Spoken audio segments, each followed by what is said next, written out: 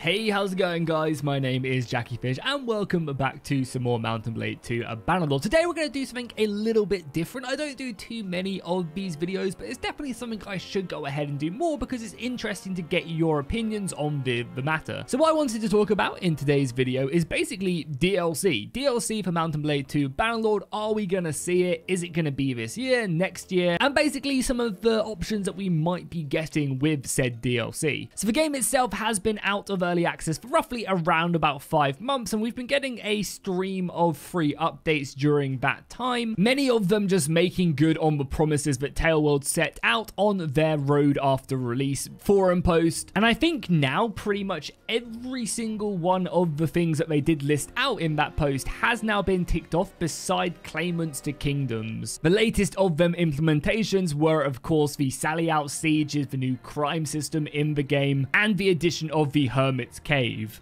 So now that they have all been added in, do you guys think it's going to be likely that we're going to be getting a DLC later on in the year? Now, I personally think it is quite likely that we're going to be getting DLC for Bannerlord. I think it would be an absolutely insane thing if they was like, no, we're done with Bannerlord, now we're going to move on, maybe some more free updates, that's it. That just does not make sense whatsoever, especially in today's modern gaming era. So then that leaves a few options, like are we going to just be getting free updates going forward into the future, or are we going to be getting DLCs. And I definitely think it's going to be a mix of both. I think we're going to constantly still getting the free updates we're receiving, but I definitely do believe that Taleworlds are working on and are going to be looking to release a DLC in the near future. And when I say near future, I don't mean in the next couple of months. I mean probably the earliest will be the end of the year, if not the beginning of next year. So then the question does come, what is going to be in this DLC? What type of things are they planning and how are they going to be approaching this? Because if we take a look back at the Warband DLC, for example,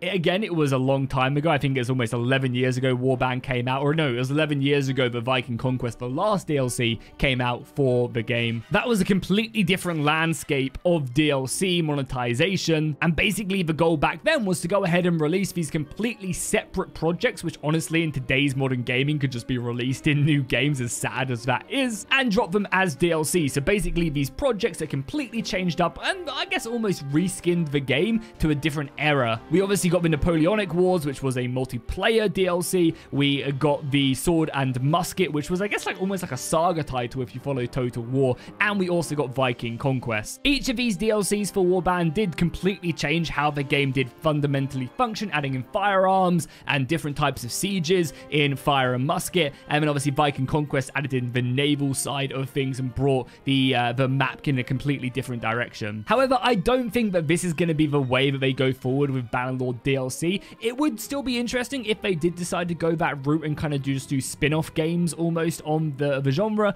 but I definitely think that would be, uh, I, I guess, a little bit disappointing, and I think they would definitely miss the mark. Modern gaming has completely changed that scape, and I, I definitely do believe that they would definitely benefit from just expanding the current game, and a lot of you guys did agree with me. I actually put up a post on the community page and, and asked you guys what you'd like to see if they did do a DLC, and the majority of you guys said a new faction and a new map expansion. And there is definitely a lot of evidence to suggest that is something that they are going to be looking at.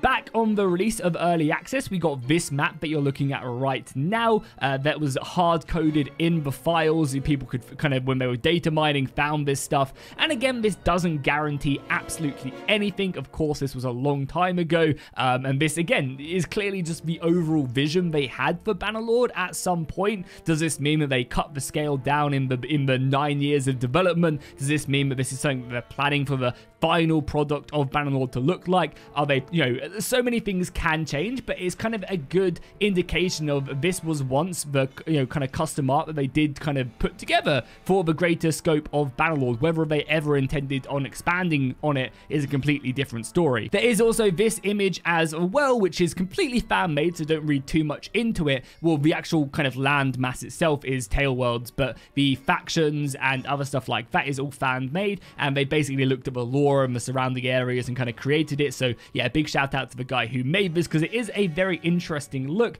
at the actual kind of overall map and what things could be with all these different kingdoms split around. And we also got Elephant Gate as well, which is basically, if you weren't following it back in the day, where one of the developers left in an elephant asset in the actual release build of the game, or I guess the patch build of the game, when it was just something they were working on, they were quickly to come out and say basically, you know, when people have free time, they mess around with stuff in engine. And of course, that is probably 100% true, but also, you know, it does hold some merit that they were kind of pushing the boundaries and, you know, clearly creating something that they could show off and be like, hey, look, elephants can work in Bannerlord. Maybe we should add it. Again, that is a big indication that we could be getting something very interesting. And of course, this could just be like an addition to the Aserai, for example, some monstrous units that get added to them. But also, this could be a special new feature for a brand new faction that they are looking to implement into the game. So what we are looking at right now is, if, if we dive in, this is my current campaign campaign I've got going. And the reason I'm showing you guys this is because the uh, the actual kind of mods I've got on does allow me to zoom all the way out and take a look at the current land masses that are actually physically in Bannerlord. And again, this is another reason why the actual maps itself do make a lot of sense because you can see, like right now, you can see a lot of this territory. If you zoom in, you can see that it is, you know, basically non-existent. It's just here as placeholders. You can tell the different textures, differences. You know, it's really just kind of there on the map, but it does show that it, you know, it is there and it has to be there for a reason, whether or not they were planning, you know, why would you why would you leave this in if you weren't planning on utilizing it or expanding it later on down the line? Like you would think when a game releases, you would just remove all of this, right? It's, it's hogging resources, even if it is hogging the tiniest bits of resources, and this is like a 2D texture plane, it's still, you know, it's still there, it's still consuming parts of your PC. So I definitely think it is quite likely that, you know, we are going to be getting expansions into these areas later on in development and when we maybe get our first DLCs. And that's really exciting. So something that I personally hope we get in, in a future DLC, and I think Total War do a, a pretty good job of this. They basically add in a a brand new faction that has a completely unique uh, mechanic that uh, applies to the kingdom, but also changes the stuff around them. And that's something I would love to see. So say, for example, I'll give you guys a clear example of, of my thinking,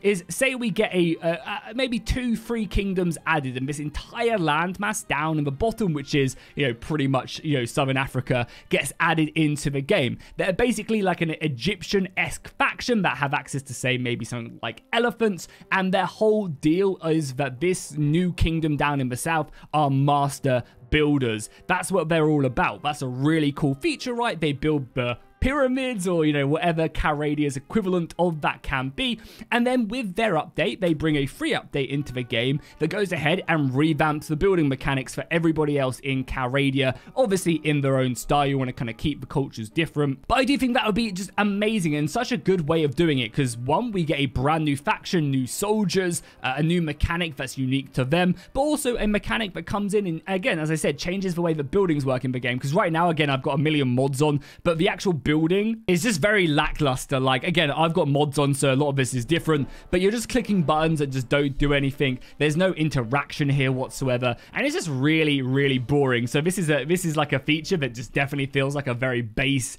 um, mechanic that just is so underutilized and is pretty much just always a placeholder. So why not improve it in a DLC that then pays for a free LC that everybody can utilize and it improves this. So yeah, you kind of you pay to get the map expansion and and access to the brand new faction with all the interesting new units and stuff and a new area of the map.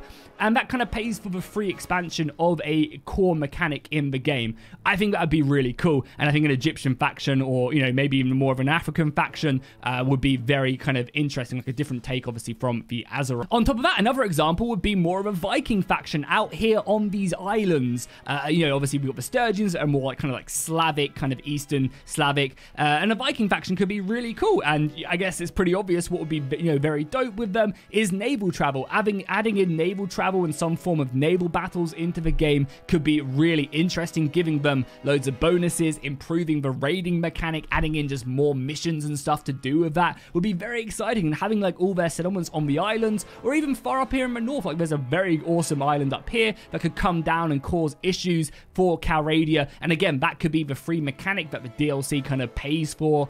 I mean, obviously you would look to pick up the DLC for the new faction and, you know, the faction that utilizes that the most. I think it would just be a really cool idea. And that's, I, you know, I think that is the most likely type of DLC we're going to get, whether or not we'll get new mechanics or just new factions or whatever. I, I, I think, you know, it's definitely on the card. Now, don't get me wrong. They could just straight up decide that we don't want to do that. Calradia is fine as it is. We don't want to expand the map whatsoever. And we're just going to do different stuff. We're just going to kind of do maybe some historical mods. We're going to maybe do a fantasy mod. That's all stuff that is completely, uh, you know, viable and something that could happen. And until we get more information, I don't think, you know, this is just all speculation, but still speculation nonetheless. Oh yeah, quickly as well, I want to put this in in case anybody from Taleworlds is watching this and they're, you know, they're just like, Jackie, we need some good ideas for DLCs because you, a complete nobody with no game design experience, should tell us what to do. I would love for end game events to happen, and this could tie in with a new kingdom in a DLC so perfectly. Like, imagine we got an expansion out into the east right here, and there's like a very scary kingdom out here. You know, obviously, this is like kind of to represent China, I guess, out here. You know, whatever you want, a, a very powerful kingdom over here. And then all of a sudden, they launch some, like, if you start in Calradia or whatever, they launch some, like, massive invasion, and all of Calradia has to unite to defeat them. Because that's something that the game is lacking as a base game right now is endgame threats. You need something to worry about in the late game, and something like a you know Chinese or Mongol invasion into Calradia would be absolutely massive. And maybe you have to you know, you know the whole point of the game is that you are fighting against the clock, Mass Effect style. You're trying to unite Calradia before this invasion comes in. You could do the same with like the Vikings up here in the north or whatever you wanted to do. And then maybe if you're playing in these kingdoms, you know the new DLC kingdoms, you're the one actually launching them invasions into Calradia, and that's your late game. Stuff like that, I think, you know, it is definitely very possible and can just be so exciting. I feel like the base game for Bannerlord is in, in, a good state right now. There are obviously still issues, um, but I think DLCs could go a long way to fixing that. And yeah, it sucks that you know some of it. You know, people can say make the argument that yeah, the game needs more free updates. But I feel like you know if we want to see big changes, I, in the game and like for the better, I think DLC is just a necessity in today's modern gaming ecosystem. I think without DLC, like I think I feel like DLCs are the best way to bring change, and I feel like the Paradox style of like adding free DLC, basically having the DLC pay for free DLC, it, it is the way forward, and hopefully that is the approach that Taleworlds are going with it because I love this game, and I would just love to see it get bigger and better. But let me know in the comments down below what you guys think, what you guys would like to see uh, from the first DLC, if you think the game should even have DLC. Again, again, you know, you, again, I definitely think you can make the argument that you know the game needs improvements before that. But I think again, we're just not going to be getting them improvements without a paid form of content that hopefully will then bring them free changes into the game. I think that's just how things work nowadays. As much as I would like to see it, um, so yeah, hopefully we see stuff like that. It'd be very very cool. Um, and yeah, let me know what you guys think. If you would rather a map expansion or if you would just simply rather a completely different genre of uh, of game. Make sure you subscribe if you haven't already. We are currently closing in on 200 110,000 subscribers, and I'll see you guys in the next one.